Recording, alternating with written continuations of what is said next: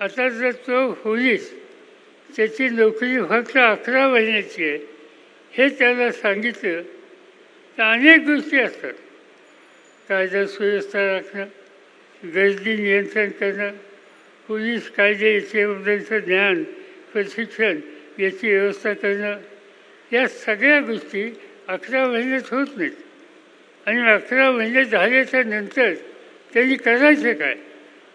आणि म्हणून आज पोलिसांना तंत्राची पद्धतीवर घेणं याचं इतकं चुकीचं काम या देशात कधी कुणी केलं नाही आज ते आजचं इथलं भाजपचं सरकार करतं आहे एक काळ असा होता की आपण होमगार्डची मदत घेतो. त्या होमगार्डची मदत घेत नाहीत.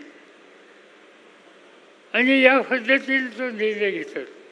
मला आठवतं आहे तुम्हालाही कदाचित आठवत असेल आपल्याकडं गृहकंठाचे वंशी म्हणून आर आर पाटील होते आर आर पाटील अत्यंत लोकप्रिय गृहमंत्री होते. भरती कशी करायची याचा त्यांनी पारदर्शक कार्यक्रम घेतला आणि कधीही कोणी तक्रार केली नाही. आज त्या सगळ्या गोष्टी नाहीत. आज त्या अकरा महिन्याच्या करारावर पोलीस घ्यायचा निर्णय आज त्या ठिकाणी घेतला आहे.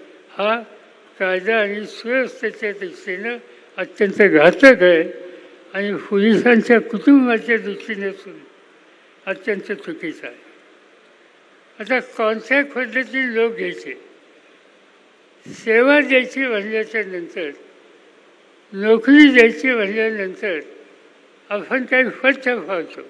एक त्याच्यामध्ये एस टी असले पाहिजे त्याच्यामध्ये एस सी असले पाहिजेत त्याच्यामध्ये ओ बी सी असले पाहिजे त्याच्यामध्ये महिलांचं आरक्षण पाहिजे. आज याच्या कुठल्याही गोष्टी कॉन्ट्रॅक्ट पद्धतीत मिळू शकत नाही.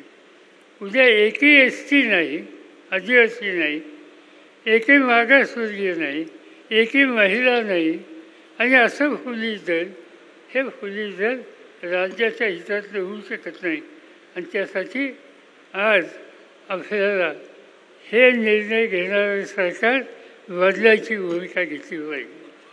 मध्यंतरी महाराष्ट्राच्या विधानसभेत आपले एक सहकारी आणि जे पूर्वी गृहमंत्री होते त्यांनी एक प्रश्न मांडला. आणि तो प्रश्न असा होता की एक जानेवारी दोन हजार तेवीस ते एकतीस मे दोन हजार तेवीस या पाच महिन्यात महाराष्ट्रामध्ये किती मुली लेखवत किती मुली लेफता झाल्या किंवा महिला लेफता झाल्या.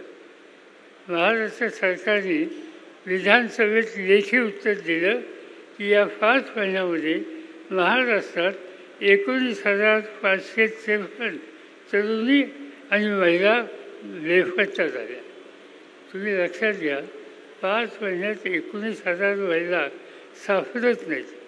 काय त्यांची घरची अवस्था असते त्यांची कुठं असतील तिथं काय अवस्था आणि कसं सरकार? हे सरकार महिलांना काही आधार देणारं सरकार आहे. आणि ते निर्णय त्यांच्याकडून होतात. आज हा निर्णय समाजाच्या दृष्टीने अत्यंत घातक आहे. आणि घातक निर्णय घेणारे त्यांच्या हातात सत्ता ठेवणं ही भूमिका योग्य नाही. शिक्षण हे एक महत्त्वाचं क्षेत्र आहे. आता या शिक्षणाच्या क्षेत्रामध्ये एक नवीन उद्योग सुरू केला. तो उद्योग काय करतात? एक तर खाजगीकरण सुरू केलं. महानगरपालिकेच्या शाळा दुसऱ्या शाळा द्यायच्या आणखीन अनेक शाळा असतात एक नवीन निकाल घेतला की ज्या शाळेमध्ये वीसपेक्षा कमी मुलं एखाद्या वर्गात असतील तर तो वर्ग बंद करायचा. अनेक गावं ही महाराष्ट्रामध्ये गाव इथं आहे. आणि लोकांची वस्ती आणखी इथनं चार महिन्यावर आहे. तिथे शाळा काढली तर तिथं जास्त मुलं मिळत नाहीत मग मुलं तिथं पंधरा असली सोळा असली तर शिक्षणाचा मूलभूत अधिकार हा असतो तो द्यायचा म्हणून आपण शाळा चालू केल्या. सावित्रीबाई फुल्यांनी किती प्रतिकूल परिस्थितीमध्ये मुलींच्यासाठी शिक्षणाचे दरवाजे उघडले. आणि आज आता सरकार असं म्हणतं की वीसपेक्षा कमी ज्या शाळेत एखाद्या वर्गात मुलं असतील तर शाळे बंद करून टाकायची. बंद केली तर त्यांनी शिकायचं कुठं? त्यांनी जायचं कुठं? पण त्याचा विचार त्यांनी करत नाही.